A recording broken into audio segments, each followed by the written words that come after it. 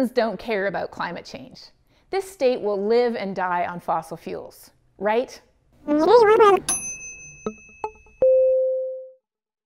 I live in Lubbock, or as my relatives up in Canada often call it, Lubbock. It's a city of about 200,000 people, way up in the northwest corner of Texas. And it has two claims to fame. First, Lubbock has the toughest weather in the entire United States. It's official, we even won the Weather Channel's contest. And second, it's the most conservative city in the United States after Provo, Utah. There are more SUVs and trucks here than you can shake a stick at. Oil wells are more common than trees. And if you ask people here if humans are changing climate, most people would say no. So what don't you know about Texas, climate change, and clean energy? Well, first of all, Texas is the number one producer of carbon pollution in the United States. If Texas were its own country, it would be the seventh largest emitter in the world. That puts it ahead of Iran, South Korea, and even my home, Canada. There's no getting around it. Texas is a big part of the problem. Here's the thing though, energy is energy. And Texans understand energy better than nearly anyone else in the world. Let's talk wind. Texas is already the national leader in wind energy.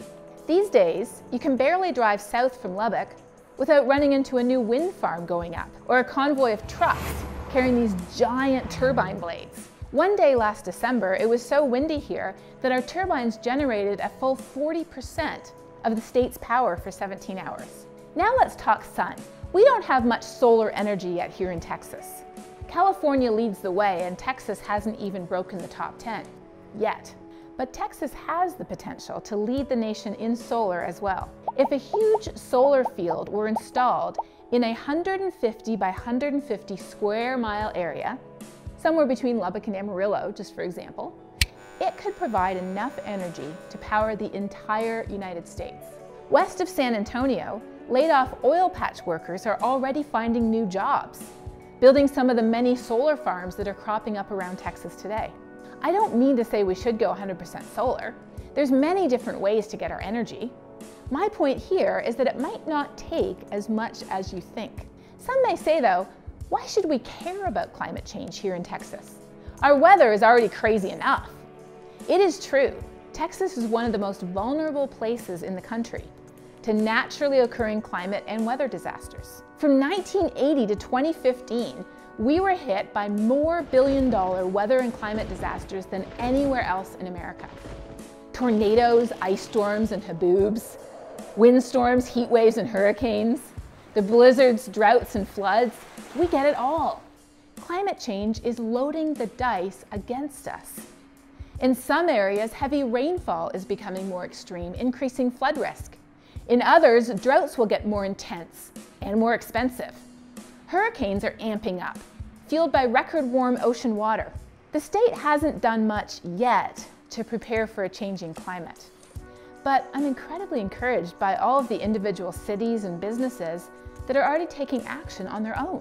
There's the city of Georgetown, north of Austin, that made news in March 2015 when they announced that all the power in their city would be coming from renewable sources.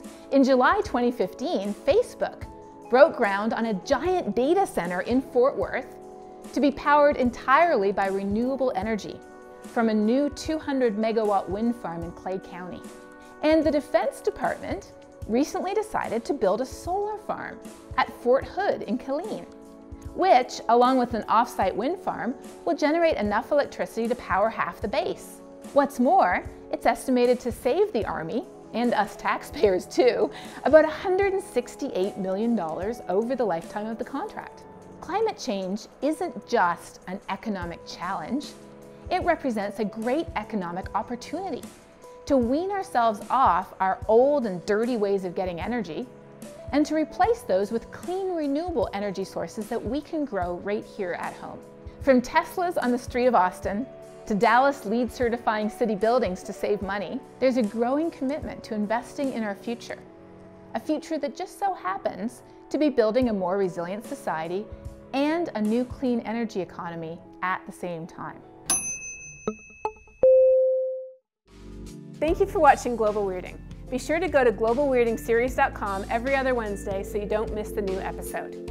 You can subscribe to our YouTube channel, you can like us on Facebook, and you can follow me on Twitter. We'll have a live discussion on both platforms after each new episode, Wednesdays at 7 Central. See you next time.